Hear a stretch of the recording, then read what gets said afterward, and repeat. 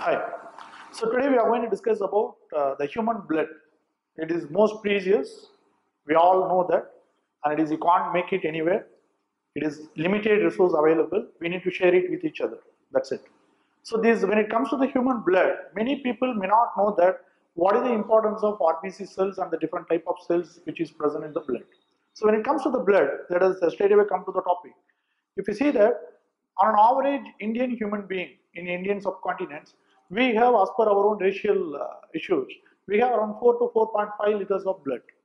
Out of that, more than 60 percentage it goes for the plasma and the remaining 40 percentage it goes for the blood cells, blood corpuscles, they call it as. So there are three different type of cells. One is RBC, another one is WBC, and the third is uh, platelets. So let me discuss only about the RBC cells now. So if you take RBC cells are very very minute cells and uh, they contain the red color pigment called hemoglobin. This hemoglobin, hem means it is an ion. If you split the hemoglobin into two, hemoglobin, if you split into two, hem means ion, globin is the protein. These iron contents are very much necessary for us.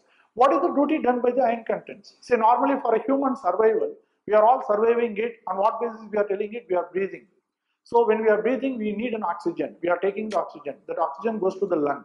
And this oxygen need to be supplied to each and every cells of our body. We have billions of cells in our body. So these oxygen supply, the task is taken care of by these RBC. These if the RBC cells are less, or if the hemoglobin contents are less, naturally what happens, even though you are breathing normally, your oxygen supply to billions of cells will be very poor.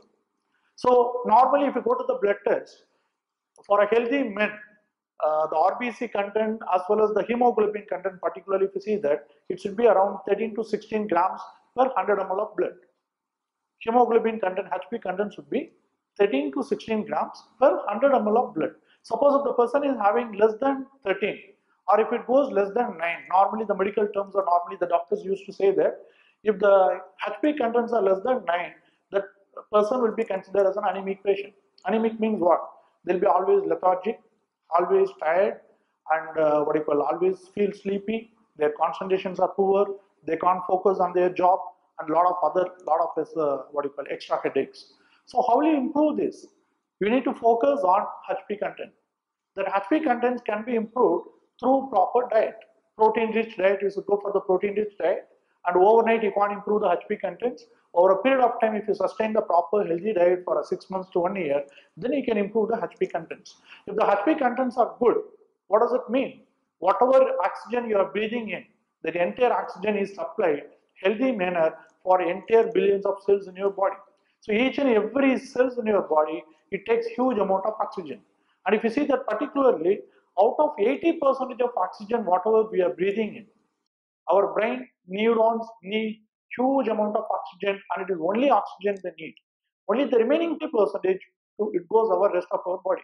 So our brain functions are totally depends on your oxygen intake and oxygen intake is totally depends on your RBC cells. RBC functions are totally depends on the hemoglobin content. Hemoglobin content is purely depends on your healthy diet. So please do focus on your healthy diet, do a healthy lifestyles and uh, live happily.